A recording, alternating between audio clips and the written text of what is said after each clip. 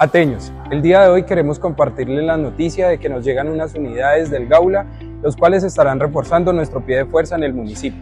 Estarán realizando intervenciones en nuestro comercio y en diferentes puntos estratégicos de nuestra localidad. Esto con la finalidad de seguir garantizando la seguridad de nuestra comunidad ateña. Los invitamos a denunciar a la línea 165 del Gaula de la Policía Nacional todo lo relacionado con la instrucción.